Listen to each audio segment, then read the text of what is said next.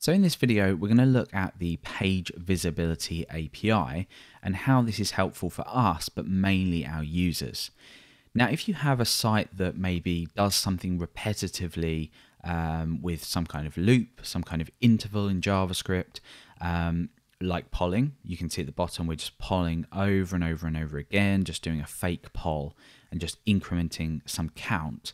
When a user navigates away from this page, do we want this website to continue polling?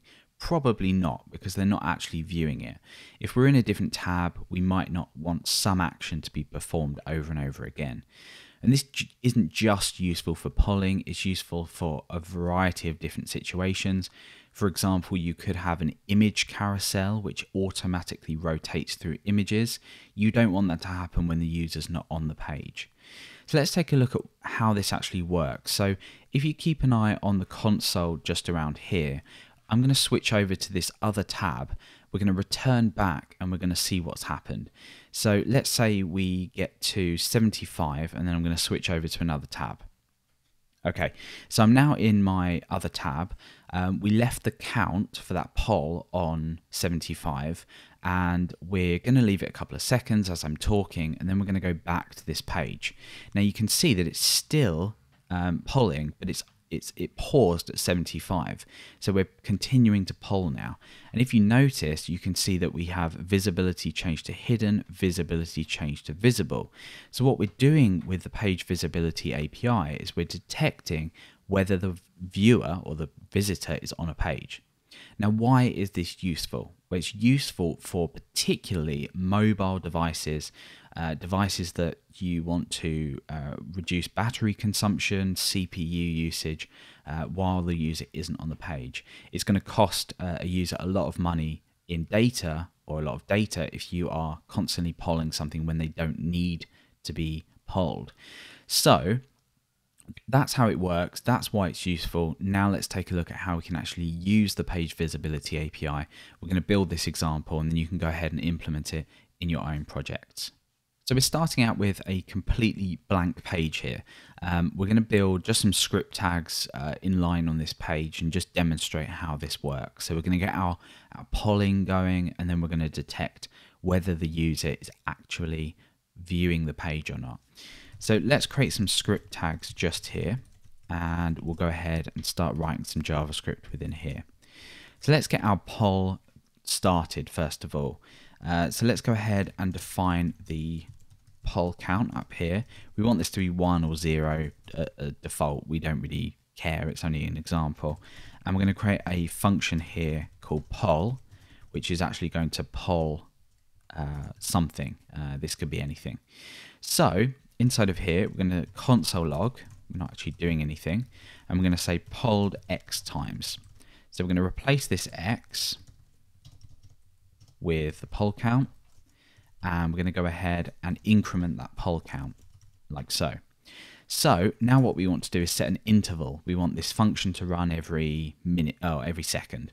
So we're going to say set interval we're going to pass in the name of the function or the variable that's holding that function, and we're going to say we want this every uh, 1000 milliseconds.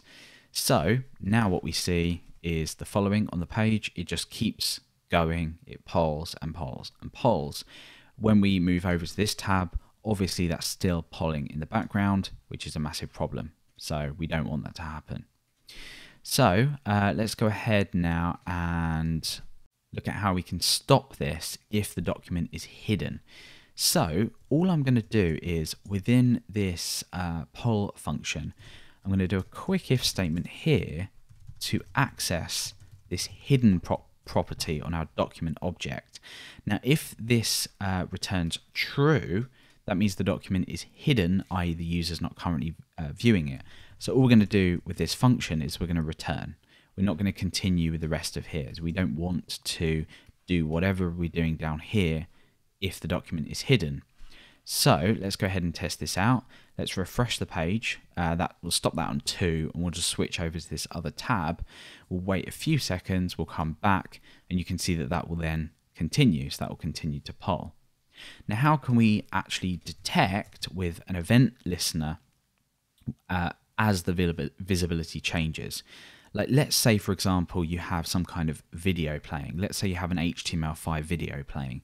This is another good example. When the user switches to another tab, you might want to automatically pause that video, and that's entirely possible with this.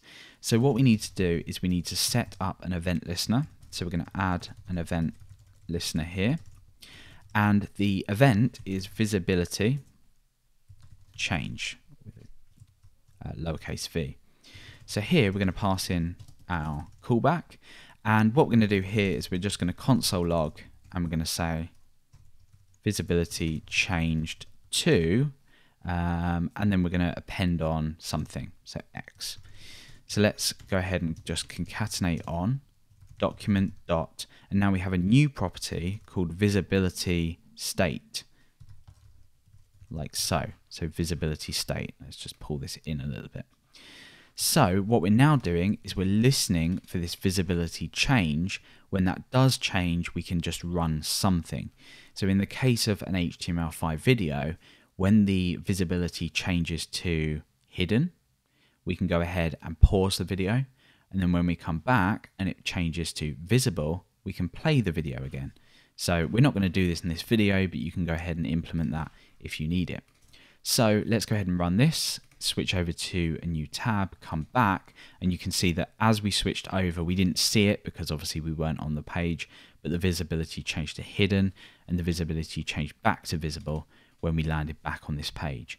So we can use the hidden value to detect if it's if it was hidden, and we can use the visible value to detect if it is now visible again, i.e. pausing and unpausing a video. So that is a little bit about the page visibility API and how you can go ahead and use it in your project. There are, like I said, different applications to this, so you can go ahead and choose how it's going to be useful to you. But it will save your users a lot of bandwidth and uh, a lot of their CPU usage while they're not viewing a particular page.